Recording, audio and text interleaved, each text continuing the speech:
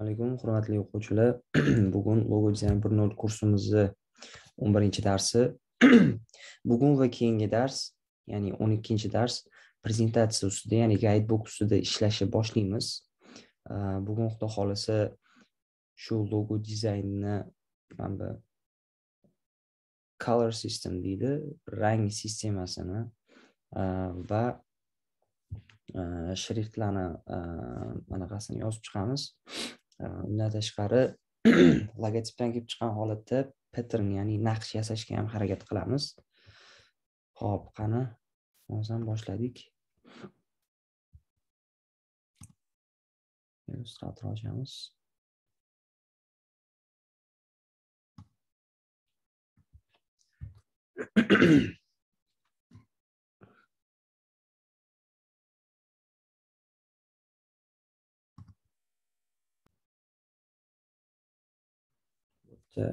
tayyor. O'zi yasab qo'yilgan ranglar bor edi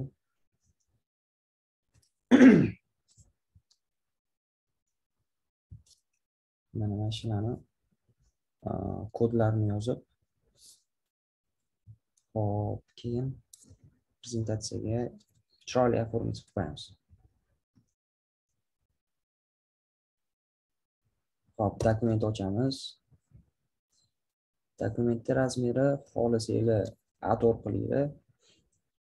Xohlasanglar shu prezentatsiyada chiroyli ko'rinadigan qilib mana bu bir ming to'qqiz yuz yigirmaga bir ming sakkiz qilib ochsanglar ham bo'ladi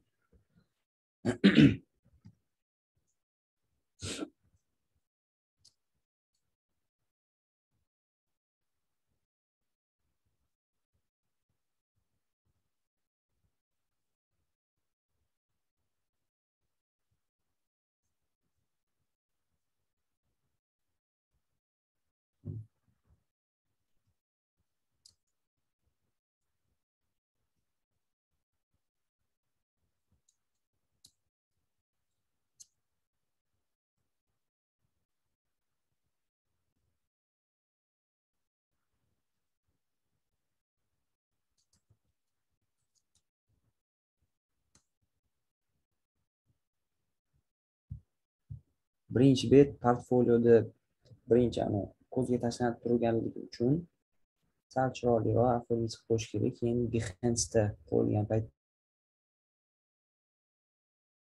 tashqaridagi proyektni cover cover page deymizmi shu e, fotovkasi deymizmi chiroyliroq qo'yishga harakat qilamiz.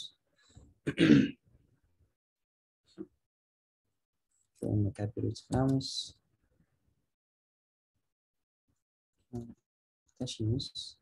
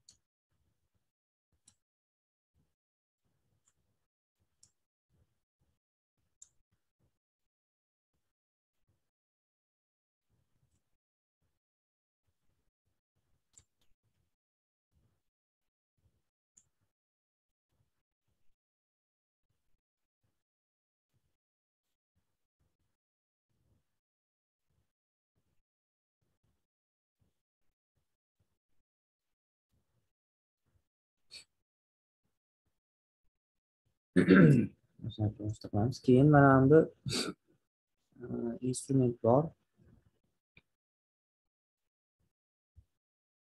Instrument montajni область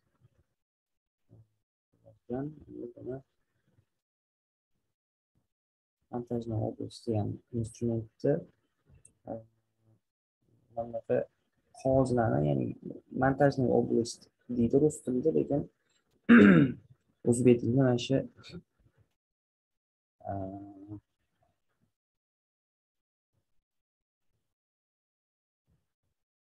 xullas mana shu anaqani ya'ni qog'ozni qog'ozni oladigan bo'lsak kopiyalik qilib ko'paytirsak bo'ladi ya'ni bu yoqda mana olib tashlasak mana qog'ozni o'zi turadi ya'ni montajni obyekti o'zi turadi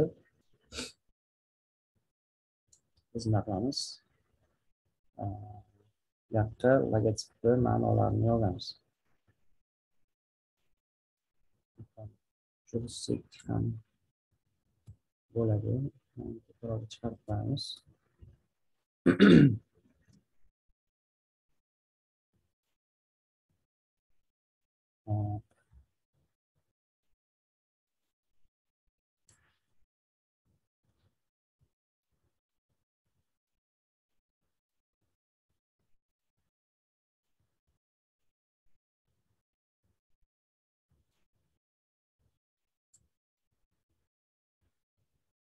namcho ajralganligi sababli narsalardan foydalanamiz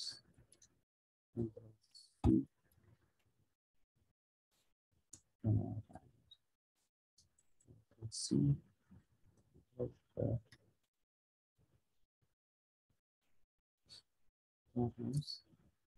keyin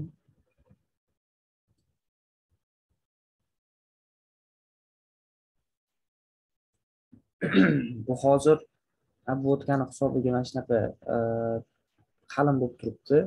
Bu обводкani obyekt qilib qo'yishimiz kerak. Buning uchun mana bu obyekt qismiga kiramiz menyudagi va kontur kontur degan joyga boramiz. Преобразовать обводку в кривые deganini bosamiz. Mana bu obyektga aylandi. Xuddi shunaqa qilib buni ham takrorlaymiz. Hop. Объект, контур, преобразовать обводку в кривой. Endi buni belgilab turib, xuddi mana buni rangiga o'tkazishimiz kerak, bir xil rangga bo'lishi kerak.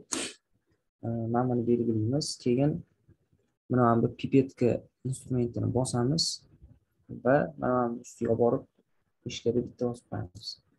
Rangiga shunday o'tib qoladi. Nimaga men buni bu yoqqa olib keldim? Sababi hozir biz mana bu logotip simvolini ma'nosini e, yopib berishimiz kerak.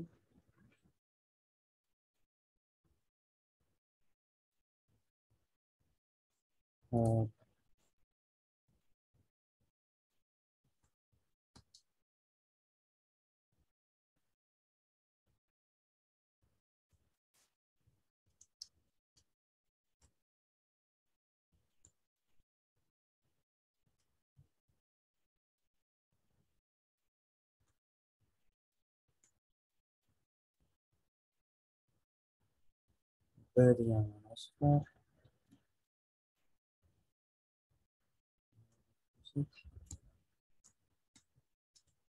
o'zi buni asosi ikkita tomchidan iborat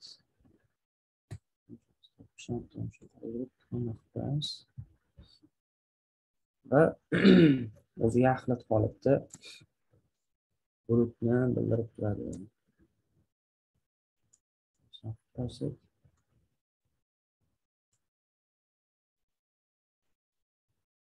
Hammasini общий belgilab mana bu yerdagi uravnениyani bosamiz ishlab beradi va yozamiz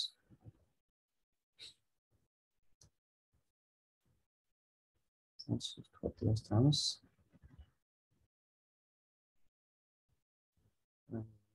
shunaqa qilamiz va shriftni ham chiroyliroq shriftdan kerak qilamiz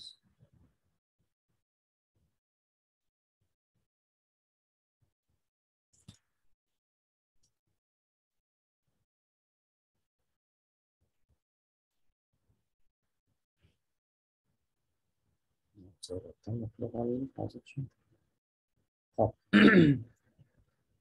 agar xohlasanglar o'zbekchada yozsanglar bo'ladi lekin man eh, e, inglizcha yozmoqchiman.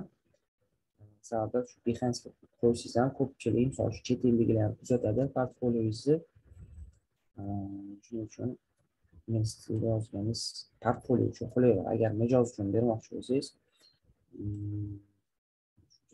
mijoz agar shu anaqa ingliz tilini tushunmasa misol uchun o'zbek tilida yozib bersangiz bo'ladi uchun airdrop deymiz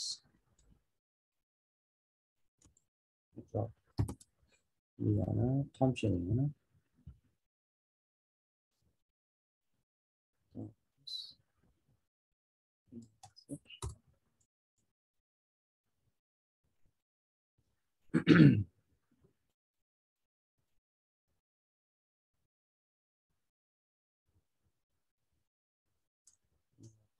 sal yetishroq tushamiz bu yerda b harfi yozishimiz kerak. İngliz tilida albatta d bo'ladi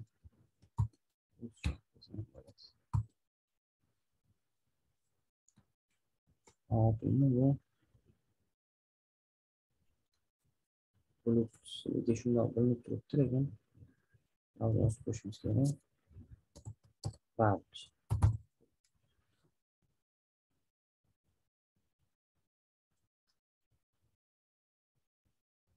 Общий belgilab ozgina kichkinaroq qilamiz. Общий belgilaganimiz orqasidagi qog'oz ham belgilanib ketadi. Shuning uchun sloyga bosamiz.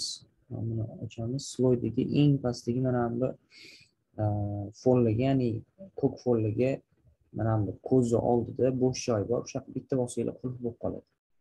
Mana bunda ham e, o'sha tepadagi mana bu ko'k fonga bitta bossangiz qulf bo'lib qoladi. Любой slойga mana shunaqa qulfni bossangiz hmm, bo'sh joy bossangiz qulf bo'lib qoladi. Keyin bu e, bosib ushlasangiz ham mana yurmaydi qilmaydi. Ya'ni joyidan qo'zg'almaydi. Faqat shu qulfni olib tashlasangizzgina mana bunaqa joyidan qo'zg'aladi biz hozir e, xalaqit bermaslik uchun qulfni bosib qo'yamiz va mana bu общий belgilab turib sal kichikroq qilamiz kichikroq qilamiz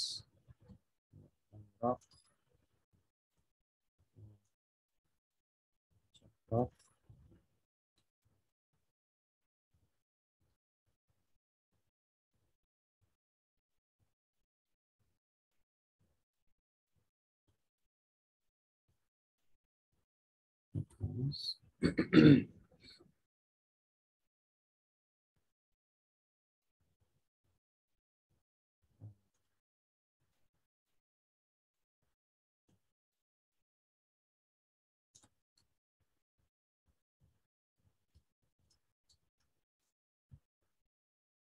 men sal chiroyli qilish maqsadida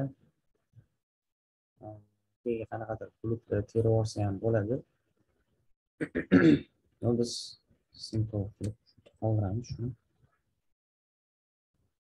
hop endi yana bitta montajni oblast ochamiz bu yoqda ranglar bilan ishlaymiz man hozir ko'rgan bo'lsanglar mana bu to'rtburchak ya'ni ko'k fon bu yoqqa o'tmadi. Sababi man tepadagi mana bu ko'k fonni qulflab qo'ygan edi. Qolgan narsalar o'tdi olib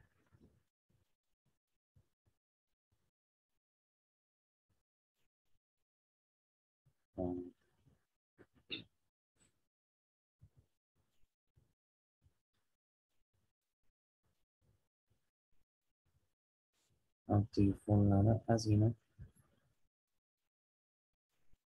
Ochroq qilsak ham bo'ladi lekin yozuv yaxshi ko'rinyapti. Shuning uchun olamiz hammasini kopirovat qilamiz. Qo'yamiz.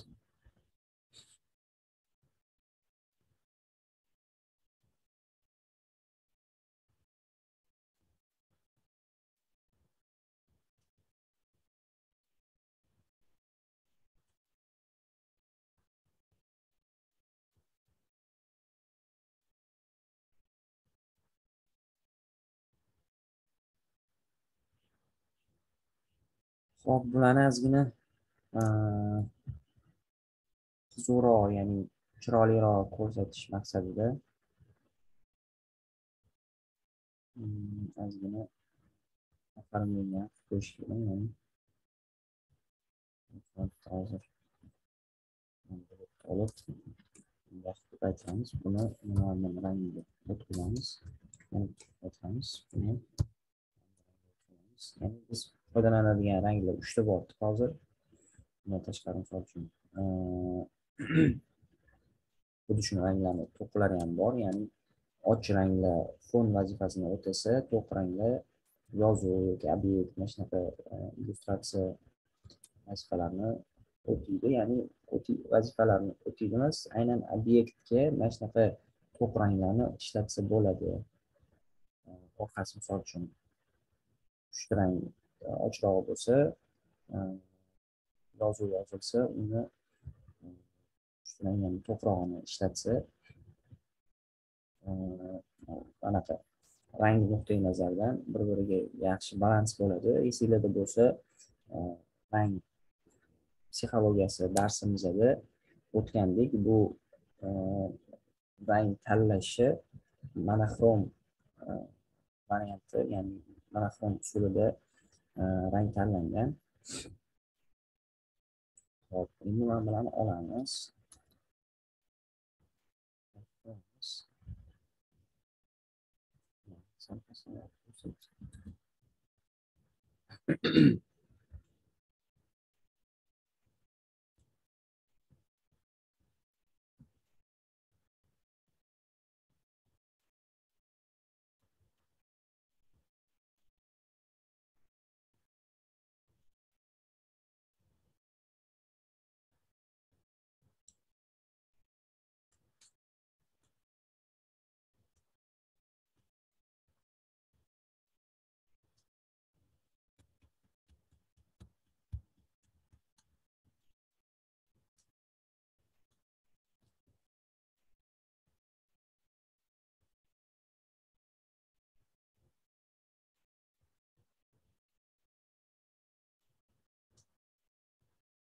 odatda mana bu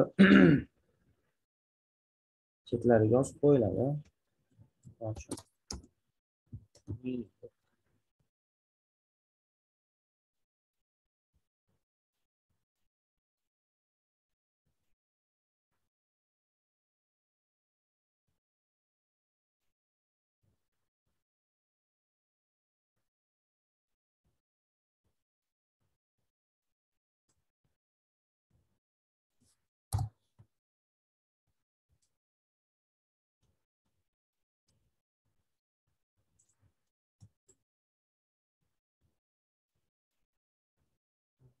yazmak hepsini.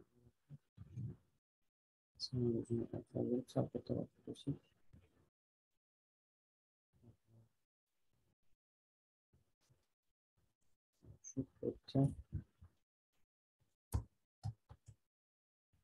Colors.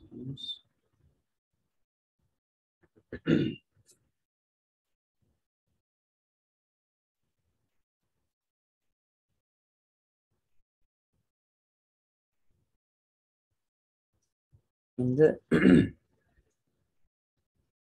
tekstilni kopировать qilib qilib olamiz.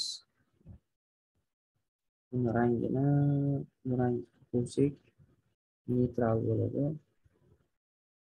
Sabab bu yoqda endi shunaqa rang ishlatilganligi sababli bu yerda ko'kka to'qrog'i e, zangori rang sal to'pog'ini ishlatganman mana shu yerda rang balans bo'lishi uchun endi bu yerda manani ham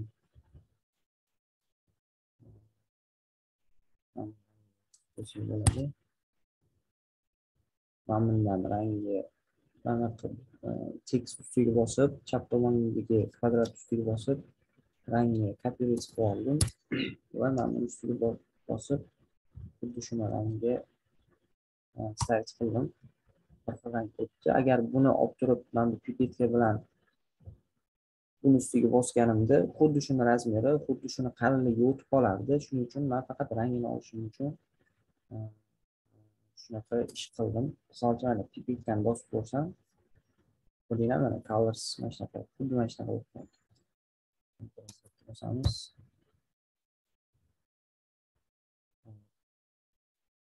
mana bunda Hmm. kvadratni bossak bizga mana kodni chiqarib beradi mana mana shu kod kerak bo'ladi. Ctrl C ni bosib bunga qilamiz va buni boshiga hashtag qilamiz ya'ni bu mana shunaqa kodda degani mana shunaqa buni kopировать qilamiz. Endi mana buni ustiga bosamiz. Ko'p rangli bulutimizni kodini bilib olamiz kopировать qilamiz va bosib stavить qilamiz yana buni yanada ko'paytirib mana qilib qo'yamiz yashil bulutimizni rangini ko'ramiz qilamiz va buni qilib qo'yamiz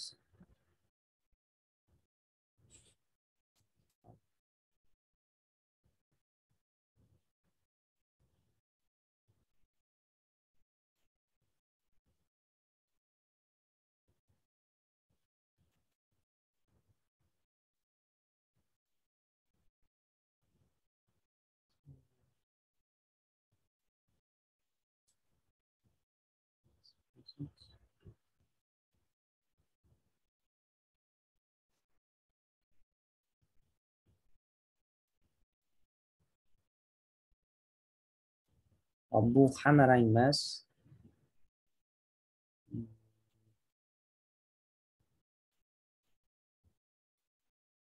Mana mana bu ranglar ham bor. Hozir yozib chiqamiz. Ctrl V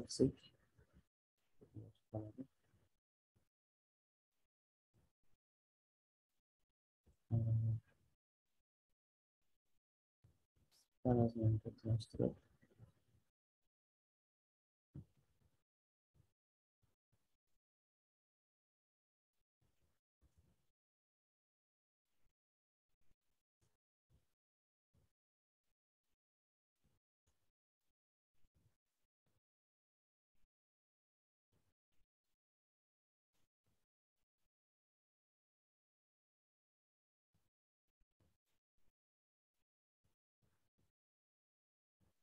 Bir şey görüyorum.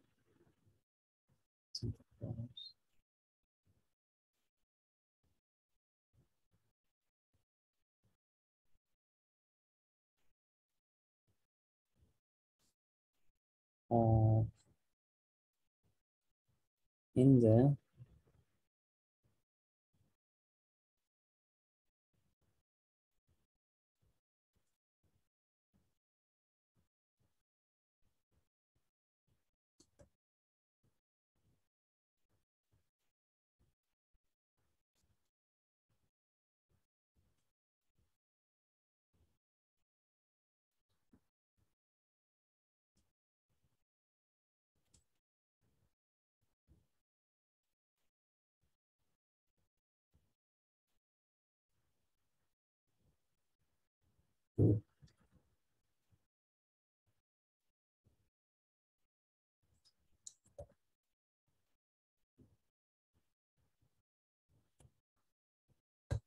mana shunaqa qilib yozsak bo'ladi. Sal e, chiroyliroq bo'lishi uchun ham rangi ham e, tushunarli bo'lishi uchun.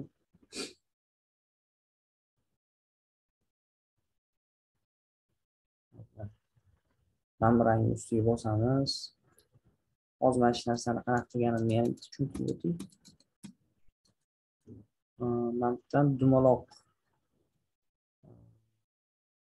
Belgini ya'ni shakl olamiz timsoh chizib olamiz. Nimaga bunaqa rangda chizyapti сразу desanglar birinchi mana bu bulut ustiga bosib oldimda mana bitta bulut ustiga bossam mana bu bitta avtomatik to'rt burchakni ichida xuddi mana shu bulutni anaqasi rangi paydo bo'ladi. Agar man mana bu misol uchun bu yoqdagi bulutni bossam mana bulut shaklini bossam mana to'rt burchakda mana shunaqa bulutni rangi hosil bo'ladi. O'shanda mana dumaloni ochib chizadigan bo'lsam xuddi shuni rangida chizadi. Shuning uchun birinchi mana bulut ustiga bosamiz keyin mana bu dumaloqni ochamiz dumaloq shakl olamiz keyin bundoq chizamiz. Chizib. Sal burchakroq qo'yib qo'yamiz.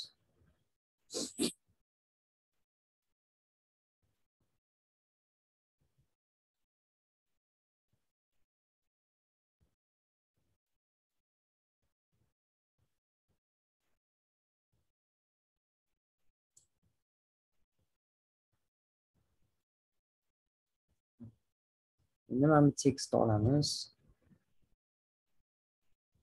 tekstni olib bosib turamiz keyin bundoq tepaga chiqarib qo'yamiz olib borsak dumaloqni orqasiga o'tib ketyapti endi sloyga bosib mana bu sekin tepaga chiqargandan ko'ra bundoq qilib tepaga chiqargandan ko'ra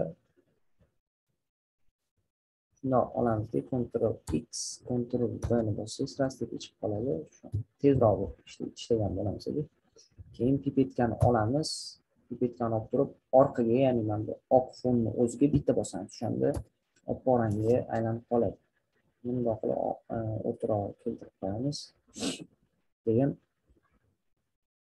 mana bu dumaloqni bosib to'rtburchaga ya'ni rangi rangini kodini kopya etib olamiz va tekst qilib yozib qo'yamiz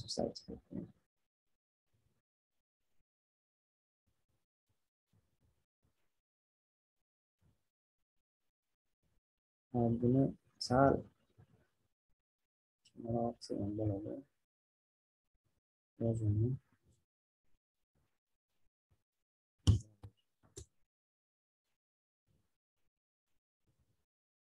Ehm, buni shunchaki mana bunaqa kopirib bossak o'zimizga osonroq bo'ladi.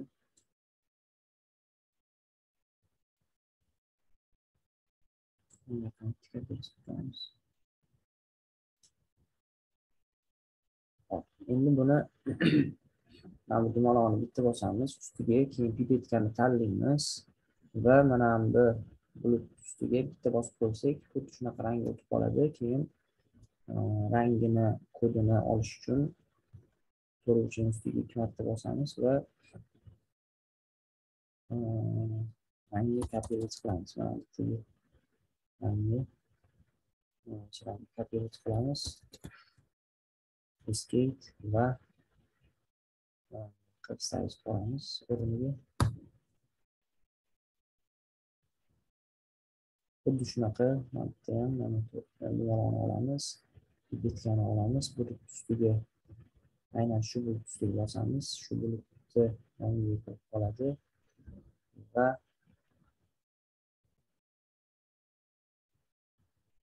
bilish uchun mana bu to'rtburchakni ustiga ikki marta bosib rangni kopya qilamiz eski bosib mana buni ustiga stavib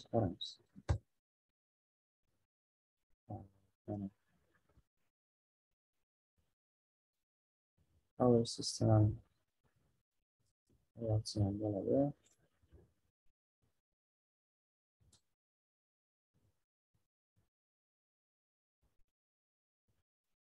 mana buni endi uylanib qolsa ham bo'ladi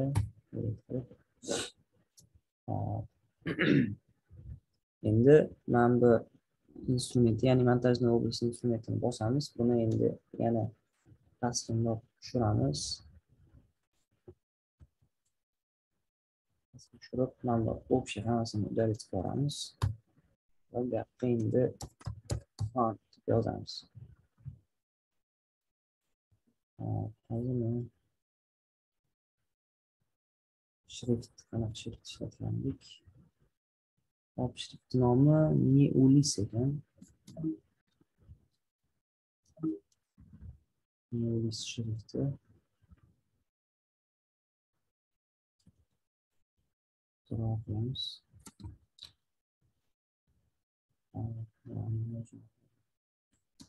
qilamiz size qilamiz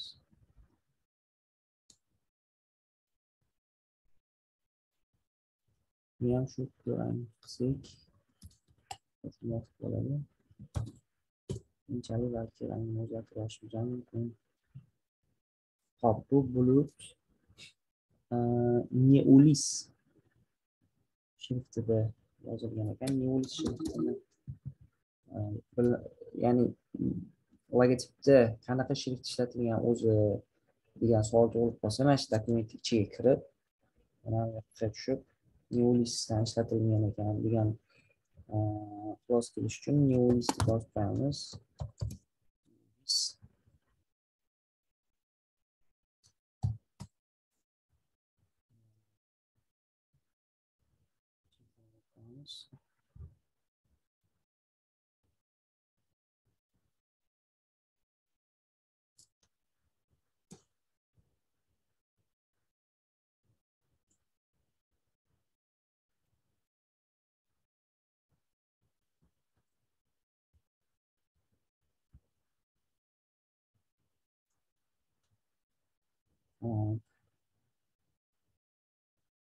neulis shriftini har xil variantlarni yozib chiqamiz misol uchun ingliz tilida mana e, alfabet bo'yicha yozib chiqsanglar bo'ladi. Endi internetdan topsanglar internetdan ham copy paste olsanglar bo'ladi.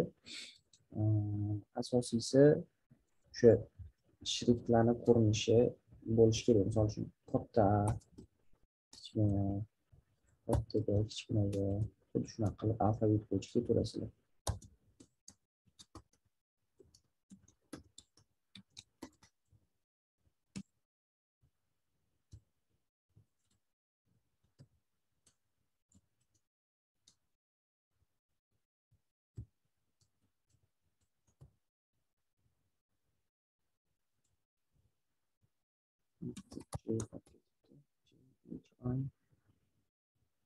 F G B C D E F G H I J K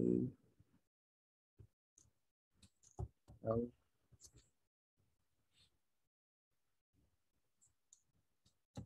M N O P Q X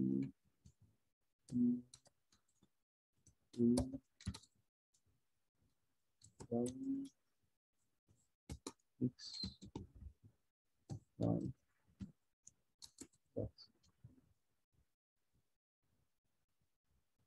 harflar alohida yoziladi kichikroq qilsak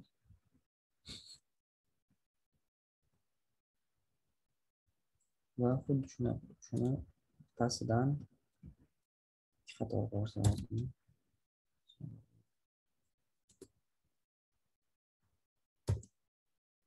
xuddi shuni pastidan sonlarni ham shakllarni ham ko'rinishini olib olsak bo'ladi mana bir ikki uch to'rt besh olti sakkiz to'qqiz.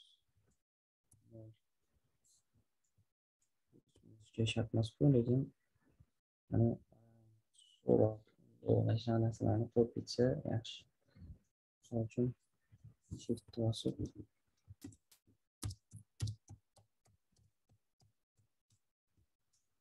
shunaqa mana shunaqa belgilarni ham ko'p tashlashadi odatda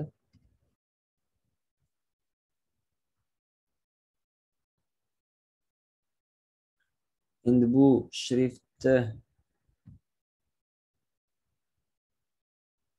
adashmasam google chromdan olmadim shunaqa bo'lsa kerak manimcha shuni sinovlarni buni har xil endi variantlari bor yo'da mana thin extra light light regular medium semi bold bold extra bold black. Shunaqa variantlari bor.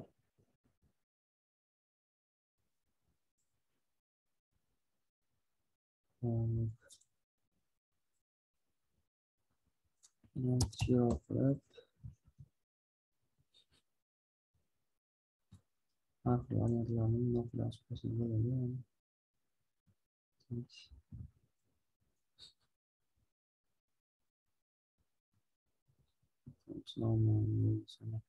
chiqamiz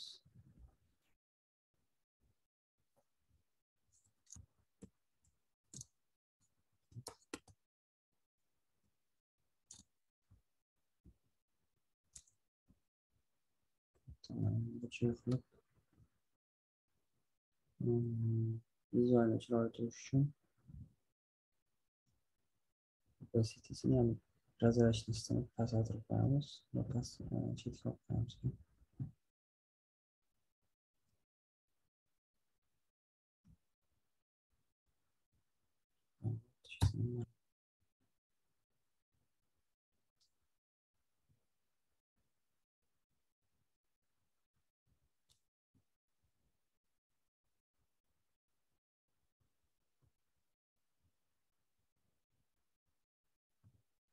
chetga olib qo'yamiz endi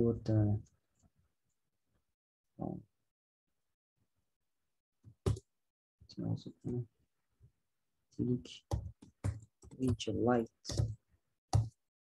Deb option belgilab light qo'yamiz endi thin qilib qo'ysa ham bo'lardi birinchi mana thin qilaylik mayli thin ham thin deb yozib qo'yamiz bu yerda asosiy maqsad har xil shu logotip har xil e, font family qanaqa ko'rinishligini e, ko'rsatishda asosiy maqsad.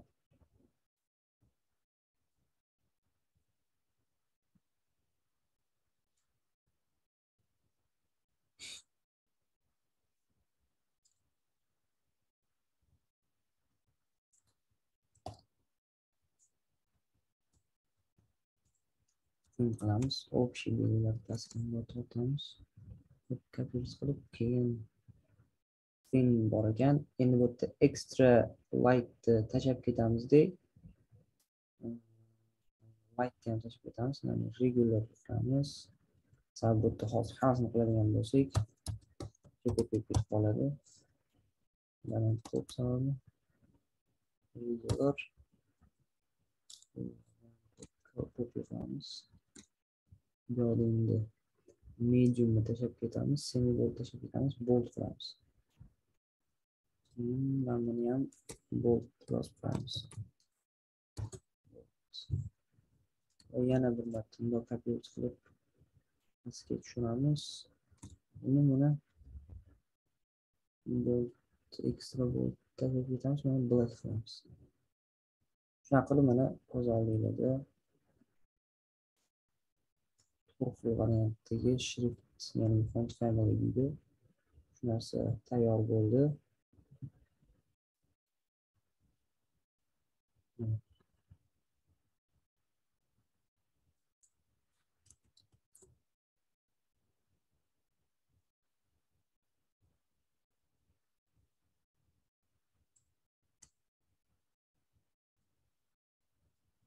Hop, endi buni xohlasanglar.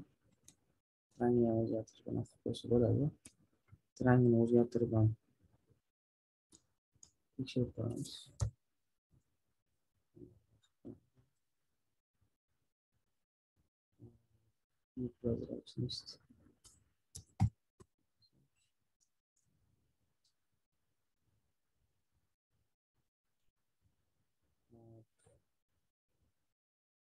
yomon emas buni anaqa qilsak bo'ladi backgroundga bitta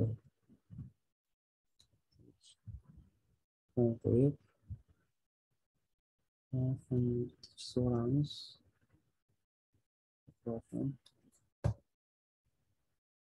Orqasidagi yozuvlarni oldinga chiqarish uchun mana bunaqa qilib общий belgilaymiz общий belgilaymizdek shiftni bosib ham qog'oz ustiga bitta bosib qo'yamiz.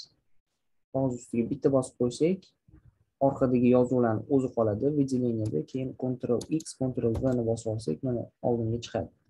Bular hozir nimaga ko'rinmayapti desanglar rangi boshqacha turibdi. Shuning uchun e, pipetkani mana shu hammasini общий выделить qilgan holatda hech qayerga bosib olmasdan birinchi pipetkani bosamiz. Keyin mana bu yerdagi oq qog'oz ustiga bitta bosib olsak mana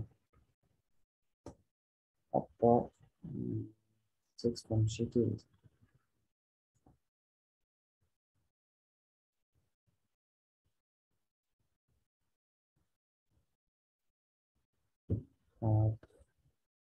Ctrl R ni bossanglar anaqa lineyka paydo bo'ladi. Lineyka nimaga kerak? Mana bu yerga tekstni bir xil qilish uchun kerak. Bossada sal chapog'i solib qo'ying. olsak chiroyli bo'ladi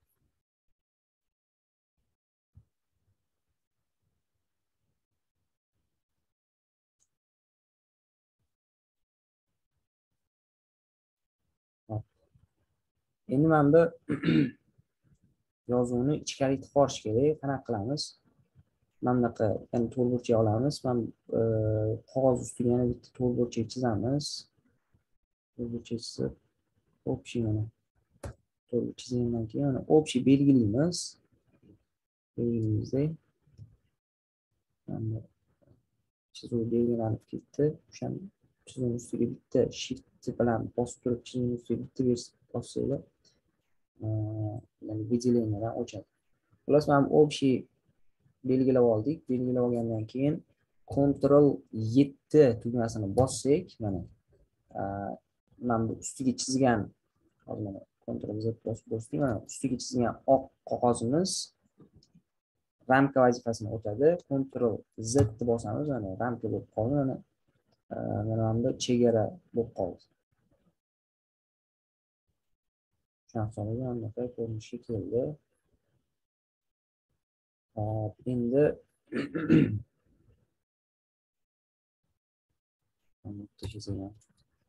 bo'ladi. Endi xohlasanglar olib tashlanglar xohlasanglar mana bu yerda нажмите чтобы зафиксировать направляющий degan mana shu направляющийlarga mana narsalarni направляющий deydi lineykani chizig'ini. Mana mana shuni qotirib qo'yish uchun ya'ni bundoq выделить qilsangiz ham bundoq belgilasangiz ham belgilamanglar qilib qo'yish uchun mana buni qulfni bosib qo'ysangiz bu joydan qimirlamaydi qilsangiz ham belgilanmaydi ho'p. Endi naqsh chizishga harakat qilib ko'ramiz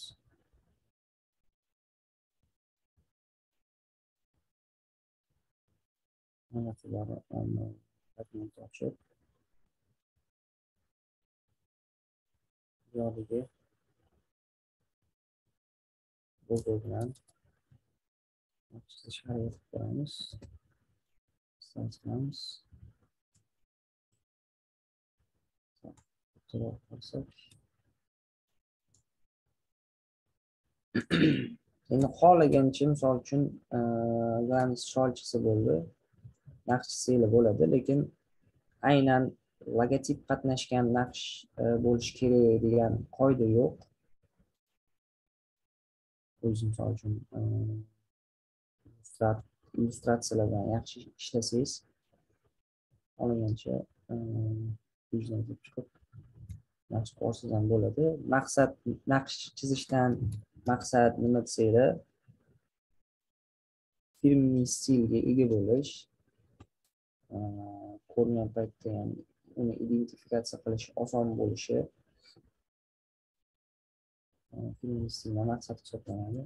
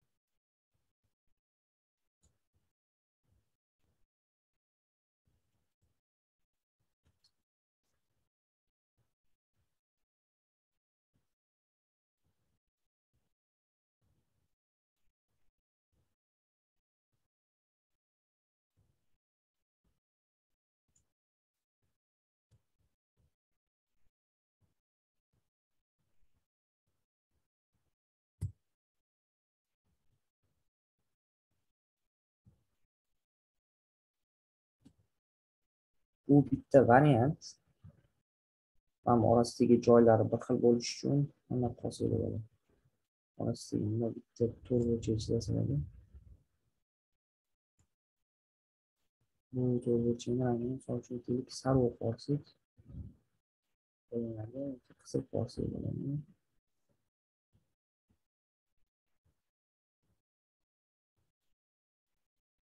Thank you.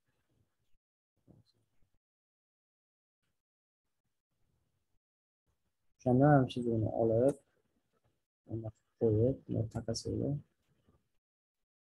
общий qilib kopiyasi qilib bundoq pastga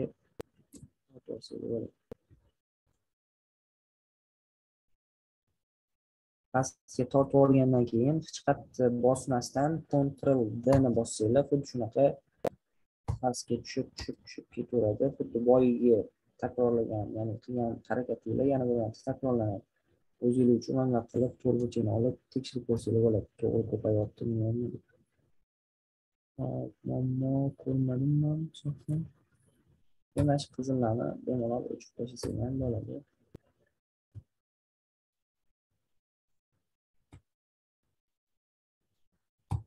Bu pattern o'zinglarga yoqmasa umuman boshqacha patternni ham ishlatsanglar bo'ladi.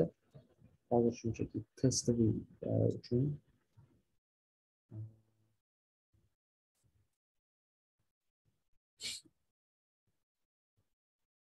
bemalol qolganigacha patternni sizlar bo'ladi общий belgimiz control C bosamiz ochamiz bu yoqda mana endi montaj область instrumentimizni olib turib yana bitta montaj область ochib olamiz bu yoqda tekstlarni bundoq bossanglar общий belgilanib qolgan sababi hammasi ramkani ichiga kirib ketgan bitta gruppa bo'lib o'shanga ikki marta ustiga bosishga to'g'ri keladi. Ehm, Dokument ichidagi narsalar bilan ochish uchun bundan tekstlarini e, hammasini o'chirib tashlasak bo'ladi. Qovursin. Boyagi control C bilan kopirib qolgan narigi dokumentdagi naqshni control V qilib bu yoqqa sayt boramiz katta ketibdi buni sal kichikroq qilamiz. Rangini hammasi endi bittada belgilangan bo'lib turishi uchun control G ni bosib yuborsak gruppa bo'lib ketadi. O'shanda ishlashga qiynalmaymiz. Buni rangini control ya'ni o'zi umuman i knopkani bossak pipetka olinadi. Alohida pipetka instrumentiga mishkani olib borishimiz shart emas o'shanda mana bu font degan yozuvni ustiga bitta bossak ya'ni font yozuvi oq bo'lganligi sababli mana bu shapelar ham mana bu naqshlar ham aynan shu oq rangga kirib qoladi.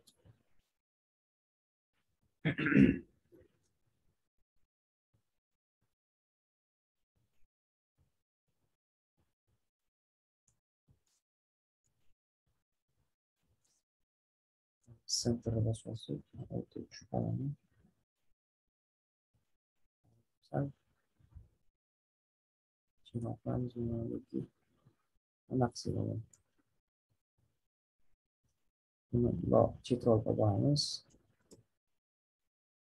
sal chiroq qilamiz yoki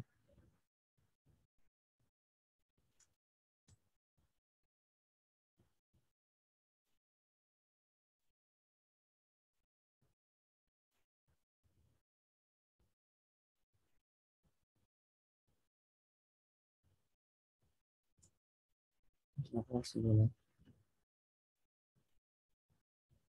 Hayır, atlamışım.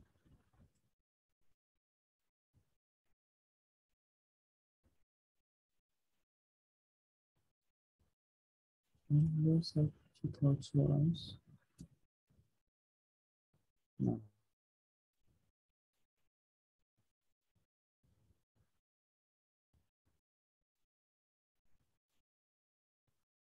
Sağ olun, çok teşekkür ederim. Böyle.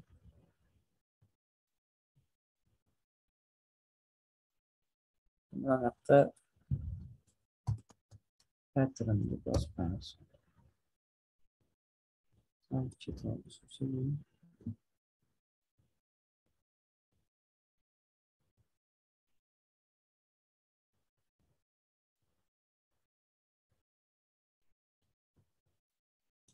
Okay.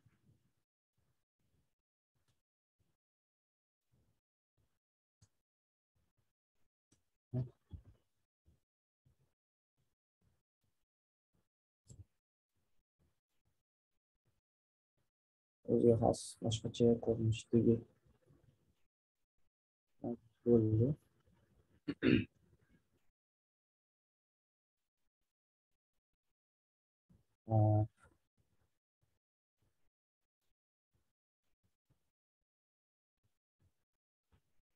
Endi agar xohlasanglar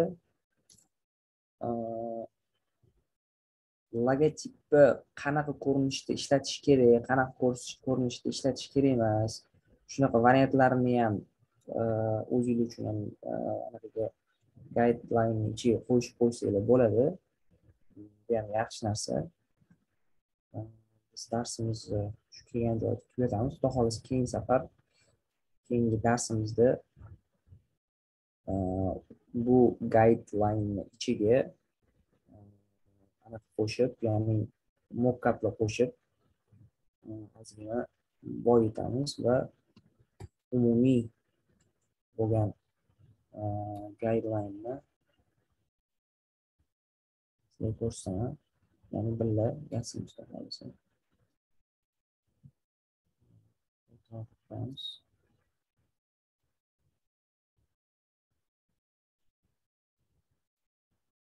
sal chiroyli qilib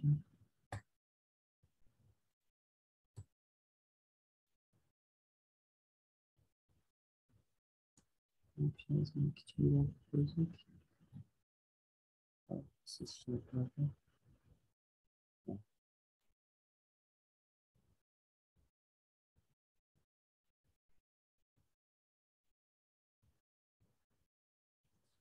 Hop, bugungi darsimiz bo'yicha shu tugatamiz.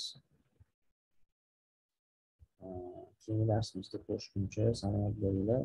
O'zinglarni proyektinglarni ustida ishlayotganda ham e, xohlasanglar xuddi shu stilda xohlasanglar internetdan ya'ni behancedan e, misol uchun brend yoki e, logo identity deb yozadigan bo'lsanglar bemalol mana shu zo'r zo'r stillarni ko'rib o'zinglar uchun inspiration ya'ni ilhomlanish hosil qilib o'zinglarni proyektinglarni ustida e, ishlasanglar bo'ladi. E, Keyin yana bitta narsani aytib o'tmoqchi edim.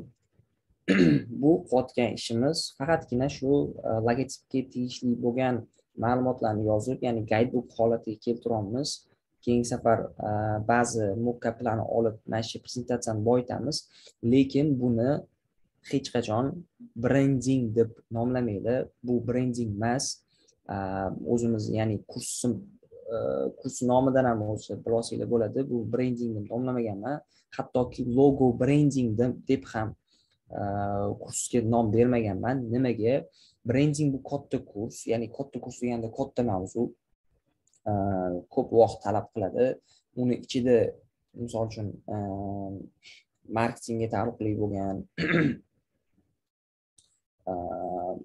bir tadqiqotlarga taalluqli bo'lgan ba'zi holatlarda misol uchun psixologiyaga taalluqli bo'lgan har xil misol uchun anaqalari bor ya'ni mavzu mavzulari mavzulari bor.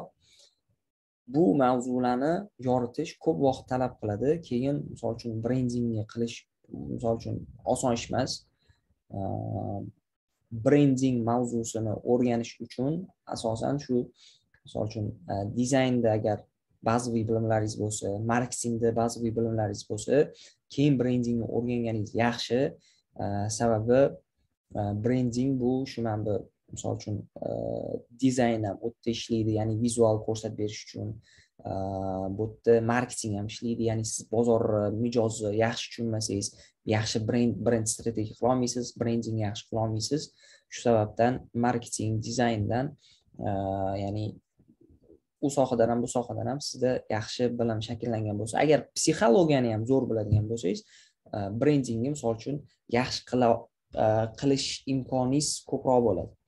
E, sababi siz mijozlarni ya'ni odamlarni yaxshiroq tushunganingiz sababli ularga yoqadigan narsa chiqarib berish ya'ni ularni misol uchun ichki motivlarni tushunish siz uchun oson bo'lishi mumkin.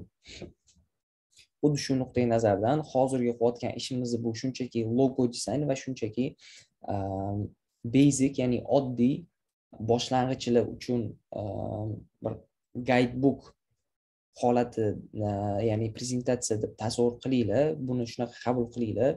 Ehm, unaqa professional leveldagi ya'ni brending mana bu behance уровеньdagi ishlar deb buni tasavvur qilmanglar. Sababi boshlang'ichlar uchun bunaqa bilimlarni olib rivojlanish bu o'z o'zidan bo'lib qolmaydi. Sizlar hozir shuni ya'ni Э, o'rganib misol uchun o'zinglarda э, misol uchun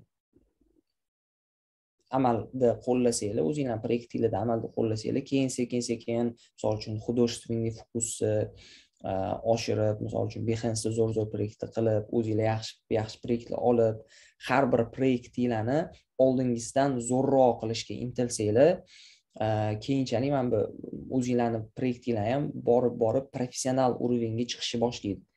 Hozirdan misol uchun e, nimaga bunaqa professional ish qilmayapmiz unaqa bunaqa deb e, tushkunlikka tushmanglar bu shunchaki boshlang'ich etap boshlang'ich etapda o'zinglarga mana shu bilimlarni olib olib o'zinglarda amaliyotda qo'llanglar va o'zinglarni ustinglarda ishlashdan to'xtamanglar xudo xohlasa sizlar ham e, professional bo'lgan ya'ni odam ko'rganda vau deydigan misol uchun mijozlaringiz boshqa mijozlarga tavsiya qilib sizni misol uchun qidirib keladigan professional уровеньga chiqishga harakat qiling Xo'p, darsimizni shu yerda tugatamiz. Keyingi darsda xohlasa bu prezentatsiyamizni boyagi aytib o'tganimdek ba'zi mockaplar bilan to'ldirib boramiz, xudo xohlasa. Keyingi darsda ko'rishguncha xayr, salomat bo'linglar.